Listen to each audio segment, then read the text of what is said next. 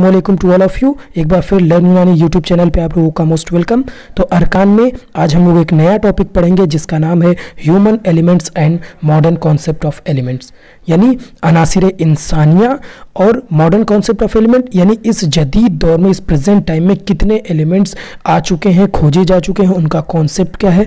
तो इन तमाम बातों पे आज हम लोग इस वीडियो में बात करेंगे। तो आइए शुरू करते हैं आज की video press the bell icon on the YouTube app and never miss another update. तो शुरू करते हैं हम लोग ह्यूमन एलिमेंट्स यानी अनासर इंसानिया, जो इंसान की बदन में जो अनासर पाए जाते हैं उनके बारे में। तो अबाउट 19 ऑफ़ अरकान participate in to the elementary composition of human body यानी 19 ऐसे अरकान हैं जो बाहम मिलते हैं और बेसिक कंपोजिशन जो बनाते हैं ह्यूमन बॉडी का, इंसानी बदन का, वो 19 एलिमेंट्स ही हैं। एलिमेंट्री का मतलब होता है मूलभूत बेसिक आधार और कंपोजिशन ऑफ़ ह्यूमन बॉडी जो बेसिक कंपोजिशन है, जो सेल्स हैं, उन सेल का मास है सेल की फ्लूड्स है, वो तमाम चीज़ों को 19 अरकान 19 एलिमेंट्स ही आपस में मिलकर बनाते हैं। ठीक है? अब आगे देखिए। The six basic अनासिर oxygen carbon hydrogen nitrogen phosphorus and sulphur contribute to about 97.25 percent of the total cell mass यानी ये जो छह बेसिक अनासर हैं, ये पूरे इंसानी बदन का 97 टू 98 परसेंट सेल मास जो होता है, उनको कंट्रीब्यूट करते हैं। यानी ज़्यादातर हमारे बदन में कौन सी चीज़ें पाई जाती हैं? Oxygen carbon dioxide hydrogen nitrogen phosphorus and sulphur इन्हीं छह चीज़ों का ज़्यादा कंट्रीब्यूशन होता है। Cell mass of living organism and provide the structural element of the protoplasm जो सेल के प्रोटोप्लाज्म होते हैं, जो सेल मास होता है सेल में जो फ्लूइड्स होती हैं, उन सब के स्ट्रक्चर पे, उनके कंपोजिशन पे ये छह एलिमेंट्स ही डिपेंड करते हैं। The metallic element including sodium potassium calcium copper zinc selenium silicon molybdenum fluorine chlorine iodine manganese cobalt iron are consider to contribute about 2.75 percent of the cell देखिए, ये जो बकिया के मेटेलिक एलिमेंट्स हैं, वो बदन इंसान में सिर्फ़ दो से तीन परसेंट का ही जो सेल मास या अपना कंट्रीब्यूशन करते हैं, पूरी बदन की सेल्स को बनाने के लिए, वो सिर्फ़ दो से तीन परसेंट है। बाकी जो छः एलिमेंट्स हैं, वो 97 टू 98 परसेंट तक कंट्रीब्यूट करते हैं। तो ये ओवरऑल सिर्फ़ 19 एलिमेंट्स ही बदन इंसान में पाए जाते हैं और वैसे तो जदीद इस प्रेजेंट टाइम में बहुत सारे एलिमेंट्स हैं, जो पीरियोडिक टेबल आप पढ़ते हैं, वो तमाम एलिमेंट्स खोजे जा चुके हैं तो वो सारे बदन इंसान में नहीं पाए जाते। क्योंकि उसमें कई सारे एलिमेंट्स जो होते हैं, वो पॉइजनस होते हैं, कई सारे जो हमारे बदन को नहीं चाहिए। देखिए एलिमेंट्स को हम लोग कई कैटेगरी में पढ़ते हैं, जैसे इसेंशियल एलिमेंट्स होते हैं, जो ज़रूरी अनासर कहलाते हैं। कुछ नॉन इसेंशियल यानी गैर ज़रूरी अनासर और कुछ माइक्रो मैक्रो और ट्रेस एलिमेंट्स कहलाते हैं।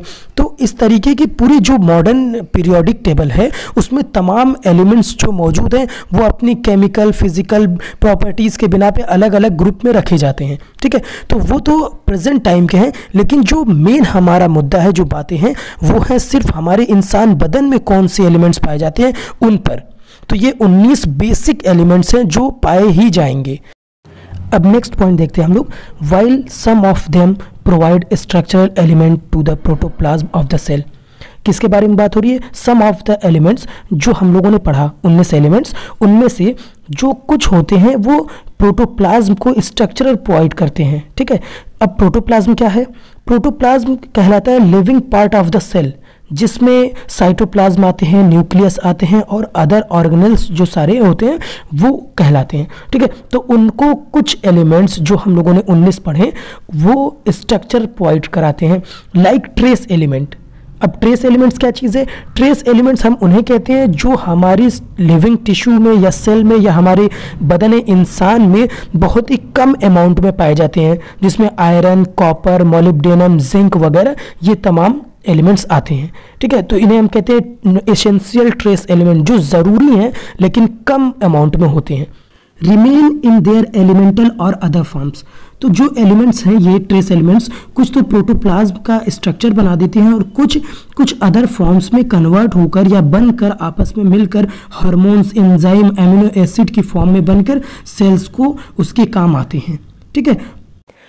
इन द सेल और in physiological system run through the help of body fluid and play their role in health and disease situation accordingly तो जो ये एलिमेंट्स हैं, वो हमारे फिजोलॉजिकल सिस्टम यानी जो हमारे बदन का एक नॉर्मल तरीका है काम करने का, उस पूरे निज़ाम में वो अखलात के ज़रिया, यानी बॉडी फ्लूड्स के ज़रिया बहते हैं।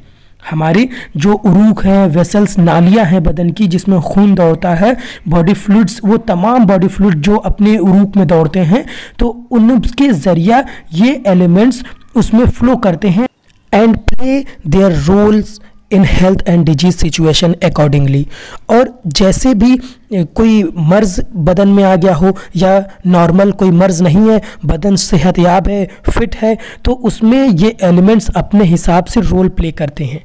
ठीक है? ये जदीद नज़रिया के लिहाज से अनासर की तकसीम है कि कौन कौन से ग्रुप में और कैसे चीज़ों को बांटा गया है। तो आज के इस प्रेजेंट टाइम में ये तमाम अनासर जो आप इस चार्ट में देख रहे हैं, ये खोजे जा चुके हैं।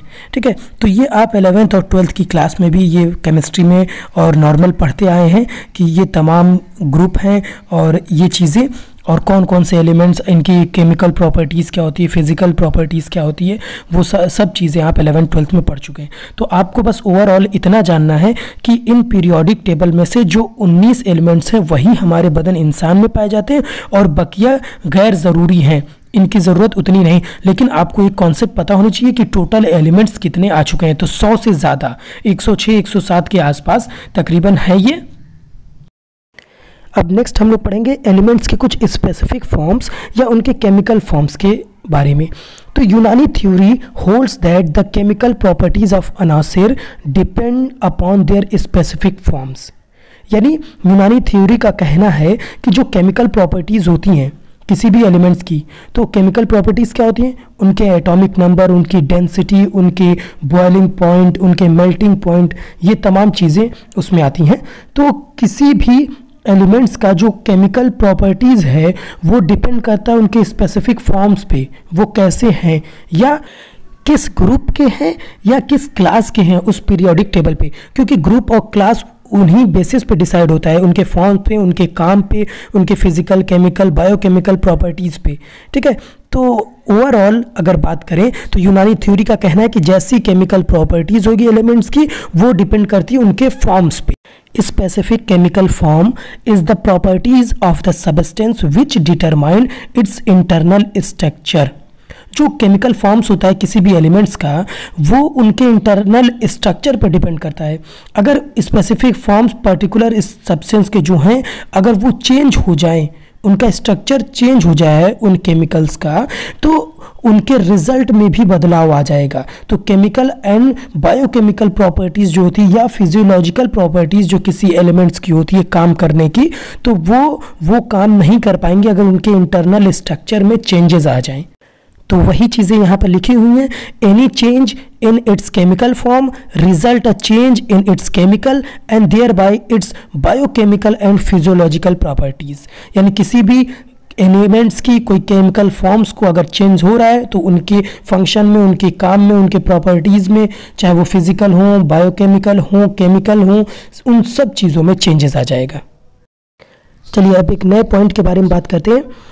However it should be borne in mind that when the ancient philosophers say anything warm हमारे दिमाग में एक बात आती है कि अगर जो हमारे पुराने कदीम अतिबा लोग थे, वो कहते थे कि ये चीज़ गर्म है। द थिंग्स इज़ वार्म या कोल्ड ठंडी है या मॉइस्ट या ड्राई कोई नम है या खुश्क है तो they generally refer to one of the following meanings तो ये फॉलोइंग जो मीनिंग हम पढ़ने वाले, उन चीज़ों को वो रिफ़र करते थे, यानी मानते थे कि ऐसा सामान्य रूप से हो सकता है। ठीक है? Sometime a things which is called warm and cold is actually warm और कोल्ड अगर हम किसी चीज़ को कहते हैं, ये गर्म और ठंडी है तो हम जब उसे टच करते हैं when it is touch it feels actually warm and cold जब उसे छूते हैं तो लगता है कि हाँ ये चीज़ गर्म है या ये चीज़ ठंडी है, या कोई चीज़ है मॉइस्ट है तो हम छूते हैं तो पता चलता है कि ये नम है, या तर है, या कोई खुश्क है, सूखी चीज़। तो हमें वो फील होता है टच करने पर। नेक्स्ट पॉइंट देखते हैं। Sometime a thing which is said to be warm और cold is not actually warm और cold and does not feel actually warm on touching तो क्या होता है कि कभी कभी कोई चीज़ अगर कही जा रही है कि ये चीज़ गर्म है या ठंडी है, लेकिन जब हम उसे टच करते हैं तो वो गर्म या ठंडी नहीं होती, ठीक है? But it is potentially warm and cold लेकिन उसका पोटेंशियल जो होता है वो ठंडा या गर्म हो सकता है। अब इस चीज़ को समझते हैं पोटेंशियली क्या होती है?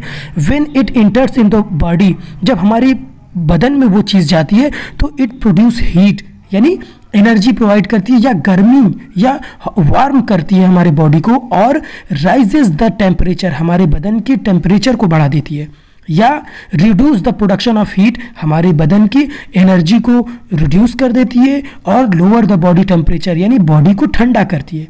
The similar case is with the moist and drying to और यही सिमिलर बात मॉइस्ट यानी नमी और ड्राई यानी खुश्की के लिए भी मानी जाती है अप्लाई होती है। तो ओवरऑल इस पॉइंट का मतलब क्या हुआ पढ़ने का? जो पिछले पॉइंट से थोड़ा सा उलट है।